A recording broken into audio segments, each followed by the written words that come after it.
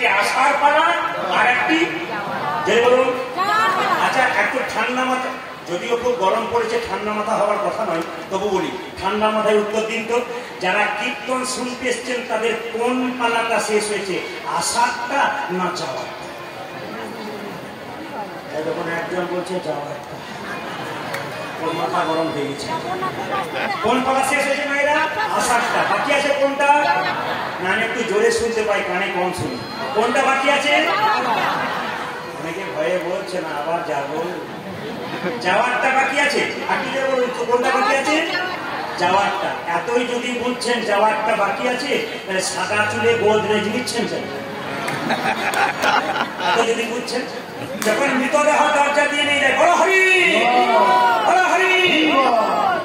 প্রণাম করি, আপনিও প্রণাম করেন। আর কি হবে? ও বোধ হয়ে গেল আমি হয়ে যাব। না কিন্তু উনি হেলতে দুলতে যাওয়ার সময় শিখিয়ে দিয়ে যায়। আমি যেমন হেলতে দুলতে চললাম, তোমার চাইতে আগে হাজার হাজার মরা দেখেছি। সুতরাং এক কাজ করো, আমাকে দেখে শিখে নাও, আমি যেমন হেলতে দুলতে চললাম, তোমাকেও কিন্তু হেলতে দুলতে চলবে আজকে লীলাটির বিষয়বস্তু হচ্ছে ভগবান শ্রীকৃষ্ণের কালীয় দমন লীলা।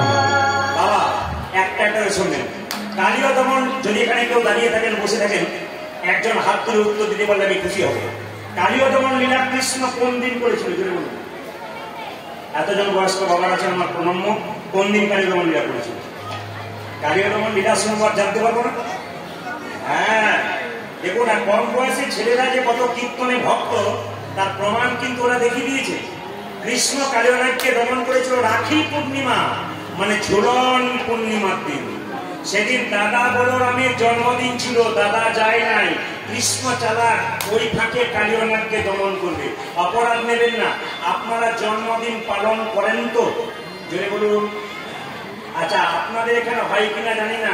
আমাদের ওখানে বড় একটা কেক আনে, একটা মোমবাতি জ্বালায়, ছেলেগুলো লম্বা হয়ে দাঁড়ায় আর বলে হ্যাপি বার্থডে টু ইউ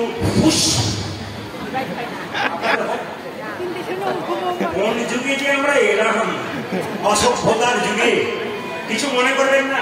এই গয়াসপুরে দাঁড়িয়ে আছেন এতজন ব্যক্তি, একজন ভদ্রলোক দাঁড়িয়ে যদি বলতে পারে, আমি তার পায়ের সামনে দশ আপনার তত্ত্ব খাব। যদি বলতে পারেন যে মোমবাতি কেন নেভানো হয়, আর কেক কেন কাটা একজন বলতে পারলে আমি তাকে তার পায়ের সামনে দশ আপনার তত্ত্ব খাব একজন যদি বলতে পারে আসলে কেউ বলতে পারবে না কেন? কয়েকদিন আগে আমি গান করছিলাম জায়গাটার নাম বলব না। একজন ভদ্রলোক বিরাট ইঞ্জিনিয়ার। প্রদীপ বাবু আমার ছেলে আজকে জন্মদিন চলুন একটু প্রসাদ পেয়ে যাবেন। আমি গেলাম দেখছি যে ছেলেগুলো সব লাইন দিয়ে দাঁড়িয়েছে ওই একই। হ্যাপি বার্থডে টু ইউ খুশ। আমার দাদা ওই কেক কাটছে মোমবাতি নেবার ওটা মানে কি? তখন উনি এত বড় ইঞ্জিনিয়ার বলছে "এ, পাড়া সব করছে তাই দেখে দেখে মানে আমরা যে কোন